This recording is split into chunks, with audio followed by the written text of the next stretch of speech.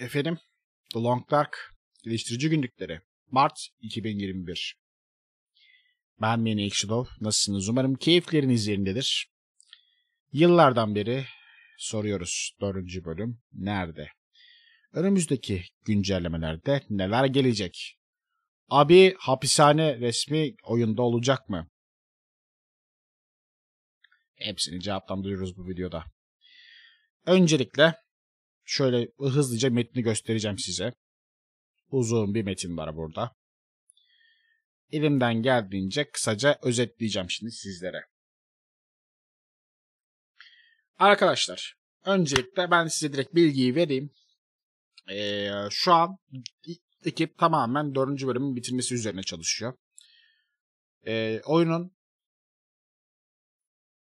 mekanların hepsi hazırlanmış, bitmiş. Ee, bütün cutscene'ler, animasyonlar, seslendirmeler, e, seslendirmelerin hepsi bitmedi de hazır, bitmiş durumda. Oyunda 3-5 e, şey kalmış. E, birkaç test yapmışlar. Ana hikaye bitirmişler sanırsam. E, neredeyse %99'u falan %95 falan bitmiş. E, yan görevleri ekliyorlar şu an ekip. Yan görevleri ekleme, haritayı birazcık doldurma, işte 3-5 toplanabilir ekleme vesaire vesaire. Yani bu 8 saatlik normalde 8 saatlik bir içerik tahmin ediyorum ben yine zaten. Diğer bölümlerde hep 8 saat yaptılar ya onu söylemediler tabii. 8 saat diye varsayacak olursak bunun 5 saatlik ana görev kısmı falan bitti. 3 saatlik yan görev ıvır zıvırı kalmış. Ama onlar da tabii daha fazla animasyon ıvır zıvır olmadığı için daha çabuk halledeceklerdir. Ee, birkaç aylık daha işimiz var diyor. Lakin hani bu dediğim gibi ya karşılaştığımız sıkıntıları hızlıca hızlıca da çözebiliriz. Ee, bu, yani bu zaman dilimi değişebilir. O yüzden zaman vermeyeceğiz diye söylediler. Herhangi bir çıkış tarihi vermediler. Peki ne verdiler bize bu açıklamada?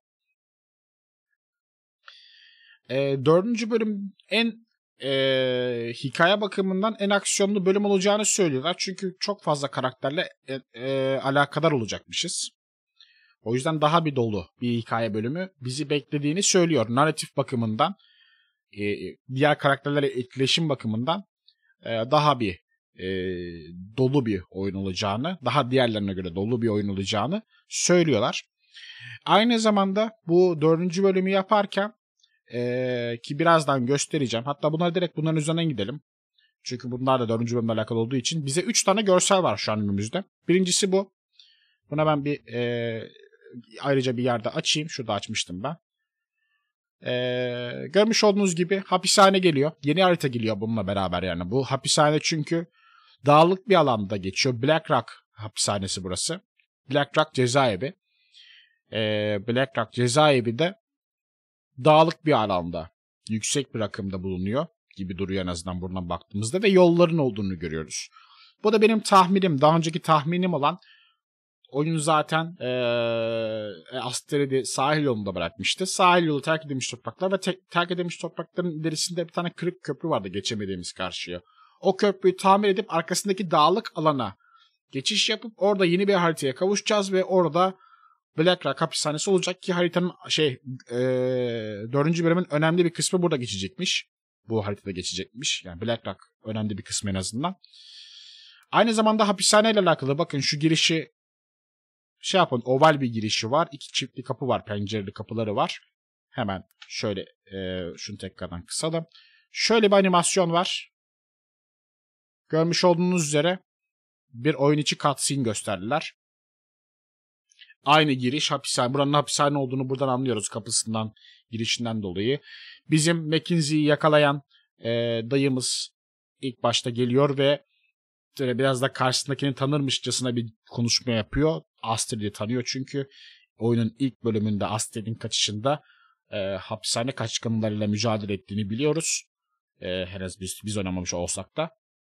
Bunu McKinsey işte diğer insanlardan öğrenmişti. Soruşturmada öğrenmişti e, McKinsey hala kurtarılmamış ve Astrid olarak bizim McKinsey'yi kurtardığımız bir sekans olacak.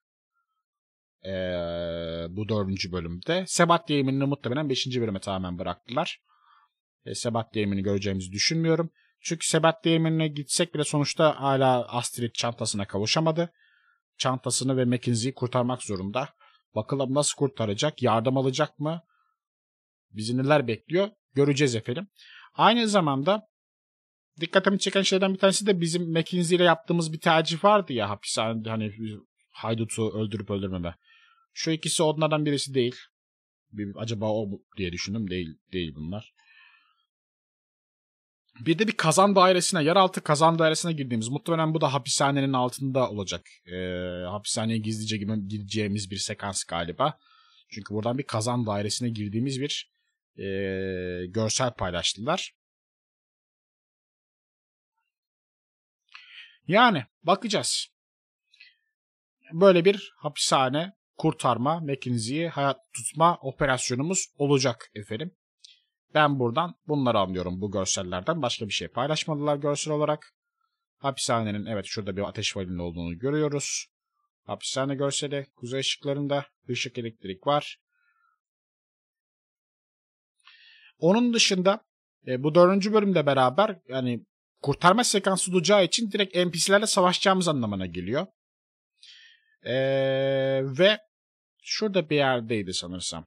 Onu da işaretleyerek söyleyeyim, gö- göstereyim size. Hmm. Bu değil. In specific case of the episode 4, uh, this includes adding a, a new section of gameplay. Yeni bir oyun oynanış sekansı ekleyecek, eklenecek. Yani bu şey olabilir. NPC'lerle yap- yapacağımız savaşlar birazcık daha böyle hani doğru zamanda doğru doğru tuşu bas aksiyon sekansları şeklinde geçebilir. Ben bunu buradan bunu anlıyorum. Böyle bir sekans ekleyecekler diye düşünüyorum. Oynanış daha önce yoktu. Ee, sadece ayıyla bazen tuş spamlama vardı sadece. Ve aynı zamanda ekstradan yeni bir mekanik. Henüz daha test, test testlerini yaptığımız yeni bir mekanik getireceklermiş. Bu ilgimi çekti. Ne mekaniği getirecekler? Dördüncü bölümde ne gizlilik mekaniği mi getirecekler daha ayrıntılı bir şekilde ya da daha ee, craft mekanikleri mi gelecek? Lockpick falan filan sonuçta gizli olarak girmeye çalışacağız galiba bilmiyorum. Hani bilmiyorum yeni bir mekanikten bahsediyorlar ve ekstradan bir oynanış mekaniğinden bahsediyorlar. Benim tahminim bunlar sizler acaba bu yeni mekanik ne olabilir? Yorumlarda bekliyorum. Ee, bunu tartışabiliriz. Dediğim gibi oyunun hikayesi az çok açığa çıktı. Muhtemelen McKinsey'yi kurtaracağız. E, McKinsey'den önce tabii ki de e, McKinsey'yi kurtarma son sahne olabilir. Çünkü öncesinde sahil yolu ve terk edilmiş topraklarda birazcık takılırız diye düşünüyorum. Oyun bizi oraları gösterir önce. Orada belki yapacağımız birkaç amelilik olabilir. Başka insanla tanışabiliriz. Hikaye bakımından. Belki de o insanlara yardım ederiz. Onlar da bizi McKinsey'yi kurtarma konusunda yardım ederler falan vesaire. I don't know. O hikaye ilerleyişine sonra bakacağız. Ee, öyle bir bilgi yok ekstradan. Ve bunun dışında şeyden bahsediyorlar. Yani bundan sonra ne olacak? Hani peki 5. bölümü de çıkardık. Ondan sonra The Long Dark'ın e, bizim geleceğimiz ne olacak konusunda birazcık bir yorum, kafa yorulmuş, yorum yapmışlar.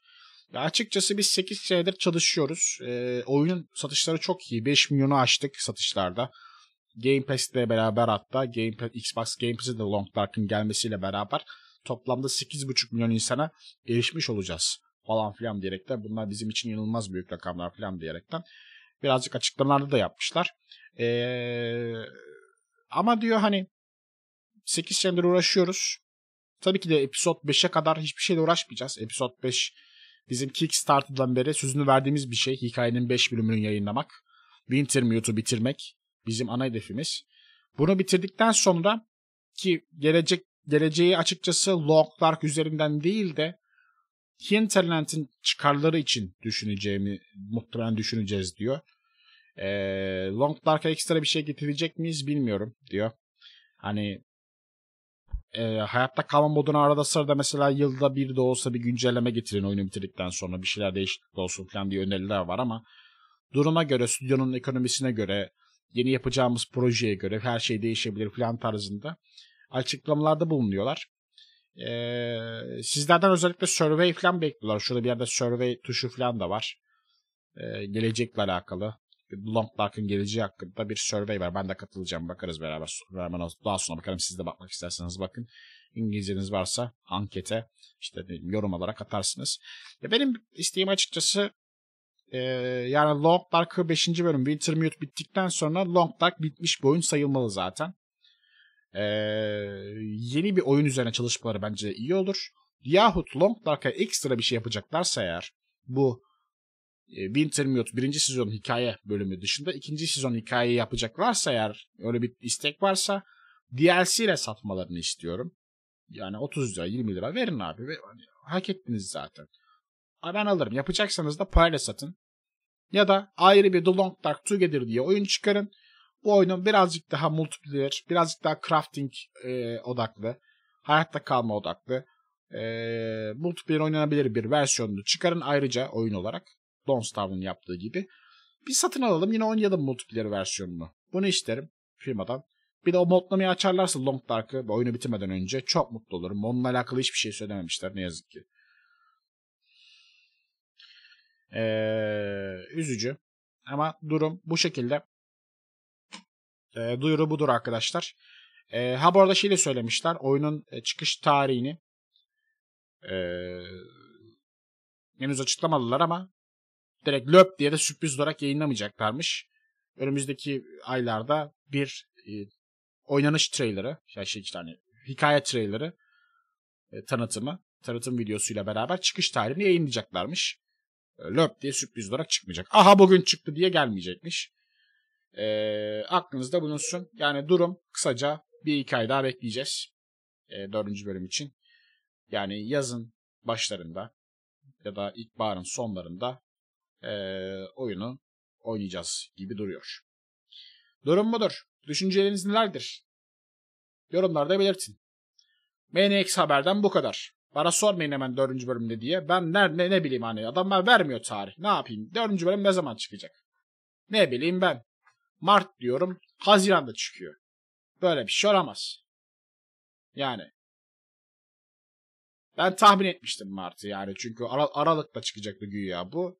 Ertelediler. Ben dedim Mart'a doğru çıkarlar dedim. Mart'ta önce duyuru yaptılar. Yani durum budur. Ee, en azından yeni harita geliyor. Güzel bir yerde harita, lokasyonda harita geliyor. Ee, güzel bir harita geliyor. Bu yüzden mutluyum. Hikaye modu daha etkileşim odaklı olacak. Karakterlerle diyalog odaklı olacak. Bu yüzden mutluyum. Ee, muhtemelen diğer bölümlerden daha iyi olacak. Bu da birazcık umudum arttı. Yani birinci, ikinci ve üçüncü bölümden daha kaliteli bir bölüm izleyeceğiz. Bölüm oynayacağız. Bu yüzden mutluyum. Yalnız yani keşke Nisan'da çıksaydı. Yani bu yüzden üzgünüm. Saygılar, sevgiler. Kendinize iyi bakın. Yorumlar eksik etmeyin. Beğeniler eksik etmeyin. Görüşmek üzere.